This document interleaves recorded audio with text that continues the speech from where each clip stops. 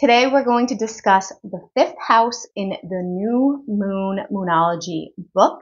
So this is video number five in a series of 12, and we're going to talk all about it in a minute.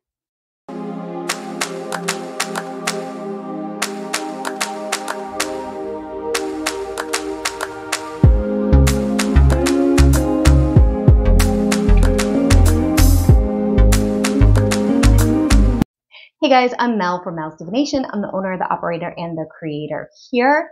And we do all kinds of fun things here. We do Witchy Wednesdays, we do Flip Through Fridays, we do astrology on the weekends or when there's major changes. We also talk about new moon and full moon. And I share all kinds of materials and resources and information. And if you're watching this, you are either looking for information on the new moon, or maybe you're new and welcome. You can find me at melsdivination.com and also the first link, the first tap link, it's a tap link in the description box below is a link that can take you to all the different things that have to do with me, with the business, and with this channel.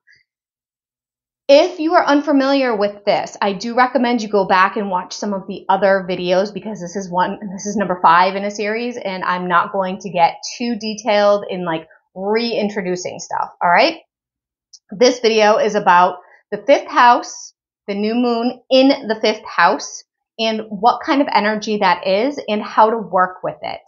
Now, I do just need to say that this is not my information. I am sharing from Yasmin Boland's Moonology book, and I am putting it into more of a digestible approach. So when it, this is in your fifth house, when the new moon is in your fifth house, you can just hop here, watch the video, and know how to work with the energy if that's what you want to do. We're going to get right into this. So the fifth house is known as your fun zone. This is all about creativity, kids, and romance, and maybe one or maybe all three of those things. To expect fun and laughter, time with kids, and creative surges. Wish for a reminder and a memory that life is a game. Visualize having a good time with people that you love. And keep in mind, life is as fun as we make it. It is what we choose to focus on. Messages for this moon the part of your chart being triggered relates to three main areas creativity, children, and sexy romance, as opposed to the serious stuff. Where creativity is concerned, if you're a bit of a closet artist, the next four weeks will give you an excellent chance to work on your skills.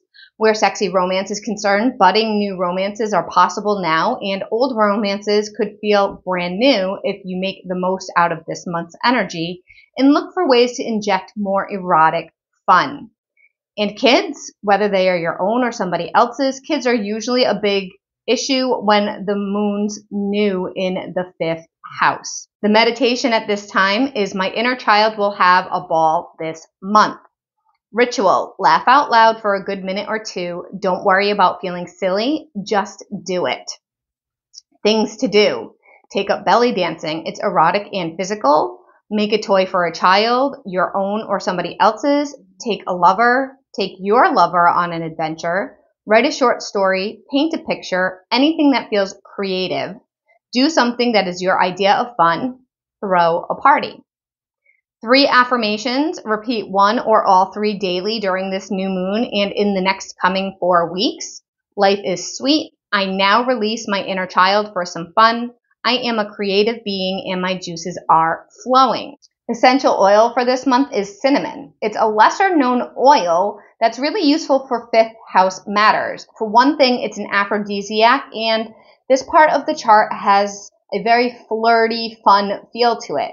It controls blood sugars. In other words, if you've been going wild with your fifth house and having too much fun, it can regulate things for you. And it's also known as one of the happy making essential oils. And that is part of your chart that this is all about having fun. I do want to say be wise. I didn't say that at the beginning. Use common sense when using things like essential oils. Please do your research. Do carrier oils, things of that nature. the numerological energy, tongue twister, is the number five. It's all about being independent. It's always in motion and in need of change, much like a child. And of course, kids come under the fifth house. So embrace your kids or embrace your inner child this month. The mantra to use this month is VAM, I think is how it's said. If not, please comment in the comments below because I am not perfect and some of this information is unfamiliar to me. So chant it out loud. VAM is V A M. Chant it out loud or silently every day while you're in the shower, before or after meditating, or at any other time that feels right to you. It works to boost the chakras of the month. The 3D chakra is the sacral chakra. The 3D chakra this month is the sacral chakra, aka Svadhisthana. I will write it down because I'm sure I did not say that right. This is the chakra associated with food and sex. How apt for the part of your chart that's all about having fun. It's all about your ability to know what you want, what will help you enjoy life, what will feel good. It's about your willingness to feel your emotions and allow yourself to have a good time. And the color is orange. So this is the second chakra if you start from the bottom up. The 5D chakra is the most wonderful thing about the solar plexus. So sacral is 3D, 5D is solar plexus, which is gold and with rainbow lights, is that it can absorb any negative energy around you and transmute it. This strengthens your confidence in yourself and allows you to live out your potential. When you believe in yourself, you're more able to become wise. In this series, I've been sharing like the chakra card. Also, cards from the decks that I have that cover the archangels and the guiding goddess. This guiding archangel is Raziel. He has two in Doreen Virtue's deck. We have the Magician and then we I know you can't read it, but because it's backwards. And then we have the Hermit. Okay, so let's talk about this. Archangel Raziel teaches people about esoteric information. Makes sense why he would be the magician. He's the archangel who can help us to understand deep spiritual symbolism, past lives, dream interpretation, sacred geometry, and so on. This is where it gets interesting. She says, remember, this is from Doreen Virtue. The cards are from Doreen Virtue. And this author who wrote Moonology, her name is Yasmin Boland. Two different people. Okay? So Yasmin says, think of the car, tarot card, the sun. That's not what I have here. And you'll get a sense of how Archangel Raziel and the fifth house work together, bringing light and understanding where there has been confusion or misunderstanding. To connect with Archangel Raziel, simply light a candle, say his name, and ask for help. Dearest Archangel Raziel, Please be with me this month as I work on letting my light shine. With your help and guidance, I can reach my full potential. Thank you. You can also ask Raziel for help if you need it regarding your actual home. So these two cards, this one's the Magician, right? The Magician is Major Arcana 1, and it says you are ready, you have the resources or the ability to manifest them. Life is magical. So it does make sense about the energy around that esoteric, right? And then the hermit, it's number nine. And this one says spend time in quiet meditation, spiritual teaching, self discovery. That also makes sense. One thing that bugs me about this deck, I don't use it. I'm using it as visuals for you guys at this point because I don't really work with it at this point anymore. But she, there's so many archangels and she repeats them in a lot. And then there's some that she didn't even cover. Dor- she meaning Doreen Virtue. So that does kind of annoy me. Hold on, Mel. I wonder if. Okay, Mel, fix it. Pick up. I do not have a card for this current guiding goddess. I definitely I checked two decks. I checked my Doreen Virtue Goddess deck, and I even checked the Divine Feminine deck, and it's not in either of them. So let's just talk about what Yasmin has here. Guiding goddess, talk to Medusa, the sun goddess. If you're willing to see life as it really is, to be bold, and to chase your dreams without worrying about who may or may not approve. Talk to Medusa if you're willing to shine your light out into the world without fear of treating, treading on someone's toes. To connect with Medusa, simply say her name and ask for her help. Universal law. This month's law is the law of cause and effect. Accept that everything happens for a reason. There's a cause and an effect. To put it another way, nothing happens by chance. For every action, including our thoughts, there's a reaction or consequence. We reap what we sow.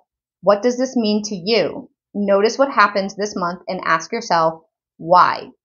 And I actually have in my notes that I wanted to make a Mel note about that. So Mel note is this concept can be very toxic. So don't overdo it. there are some situations that we're just born into or that are out of our control that do happen. So within reason. All right. Don't, don't go to the, to the extreme where you're taking on that every single bad thing that has ever happened to you is something that you did or thought or brought to yourself because no, just no, that's very unhealthy thinking. Okay. Heavenly Ray. The orange fifth ray is governed by Master Hilarion and overseen by the Maha Chohan Saint Germain. This ray is connected with ascension in the spiritual growth process, but it's also about the activation and evolution of the soul. It assists science, but at a higher level. It also boosts the ability of the soul to integrate with what is in our lives here in the third dimension. That is everything on the fifth house for the new moon that is in the new moon section of the Moonology book by Yasmin Boland. My notes here for you are, and this is going to sound probably familiar if you've been watching the series. You do not have to do everything. You can just do one thing that resonates with you.